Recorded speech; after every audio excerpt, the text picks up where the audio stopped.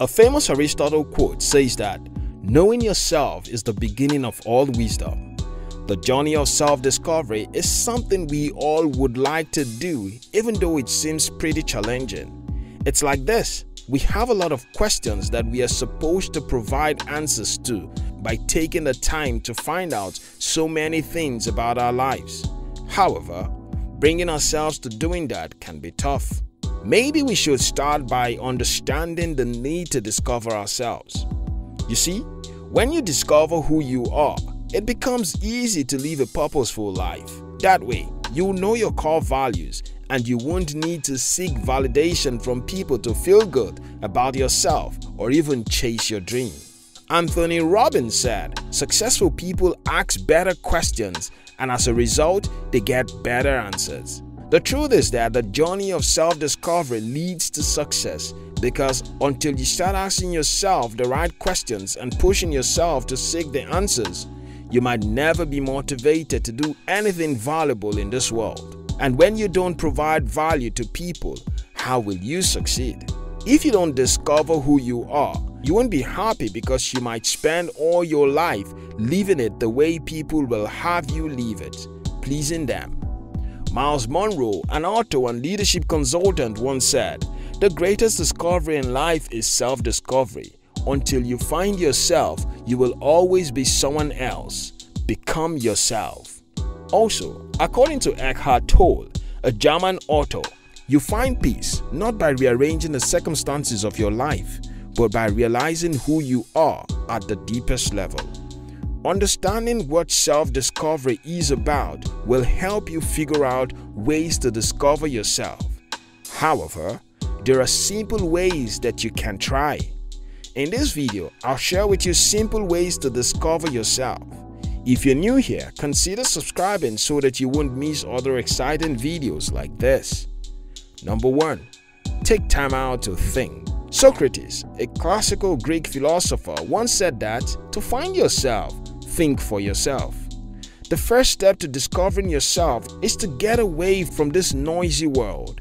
Go into a quiet place to think and reflect. If need be, switch off your phone, take a walk in the park, sit in the garden, or anything else that you can think of, as long as it gives you room to be alone to think. The reason why many people do not know themselves is that the thought of silence scares them a lot.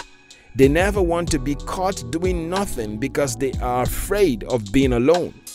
Whether it is playing, working, or just spending their time around people, they want to remain busy. However, until you learn to be satisfied in your company, take time to think about you, your life, interest, passion, and what drives you. You might never be able to discover yourself. According to Chalmers Brothers, a certified coach and author, observing yourself is the necessary starting point for real change. So, take time out, be quiet, and begin your journey to self discovery. Number 2. Ask yourself some challenging questions. Now that you have taken time out, the questions on your mind should be what next? I mean, what are you supposed to use all that time thinking about or doing? It's time to provide answers to some difficult questions that no one can ever help you answer. Again, remember what Anthony Robbins said successful people ask better questions, and as a result, they get better answers. You see, it's easy to procrastinate and delay things like this because the idea of asking oneself some type of questions that forces one to think deeply about themselves can be pretty challenging. However, if we don't do that, then we won't be able to discover ourselves. You can start by asking yourself questions like this. Number 1. What makes you feel joyful in life? Number 2. What do you love to do? What are your interests, likes, and dislikes? Number 3. What do you like about yourself? Number 4.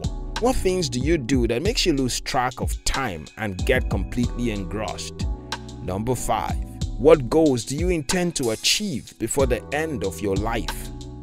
Number 6. If you can start your life all over again, what would you do differently? Number 7. If you become as wealthy as you've always imagined right now, what's the first thing you'll do with the money? Number 8. Is there a difference between who you are now and who you want to be in future? Number 9. What value do you think you like to offer to the world? When asking yourself these questions, ensure that you are with a journal to write down some of the answers you'll come up with during the session. Number 3. Discover new things. Do you know that doing something that you've never done before or when you visit a place that you've never been to can give you insight about some of your likes, dislikes, and interests? Experiencing new things widens your perspective and put new ideas into your mind. So, whenever you're feeling lost and have no idea what to do with your life, discovering a few new things can help you find out specific things about yourself. Instead of living in the same apartment for years, working the same job, taking the same routes to work daily, eating the same set of food, etc., opt for some new things. For instance, if you haven't tasted any Japanese meal before, then you should try it. Visit new places, try new hobbies, and talk with new people, read new books, develop new skills, etc. If you don't try different new things, how can you tell what you like and don't like? Also, how can you determine how to spend the rest of your life best when you don't even get exposed to varieties? So, Keep learning and exploring. Number 4. Serve and help others.